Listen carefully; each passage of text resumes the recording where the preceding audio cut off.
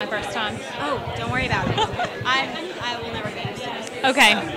Uh, so, what is your favorite Anna moment from the Vampire Diaries? My favorite Anna moment, she had so many facets, so it's kind of hard to pick one. Um, but she had the most genuine love that we got to see grow and blossom with Jeremy. So I really, I really loved watching that personally.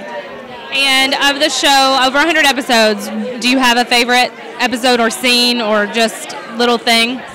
Everything is amazing. This whole show is my favorite episode, moment, whatever. Um, and they so deserve 100 episodes. Like, I can't wait to see more and see where they go from here. They're only just beginning, I feel. So, Thank you very much. thank you.